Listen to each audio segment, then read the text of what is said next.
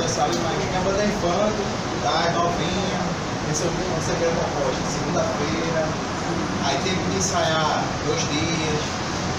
Tenho pena da gente, tá? A gente vai tocar uma sequência de Natal, certo? Arranjo João Ricardo, editoração Fábio Marques. E vai tocar uma música de Bob Grace, tá? Santos. Certo? Ah, nessa sequência de Bells e Boas Festas.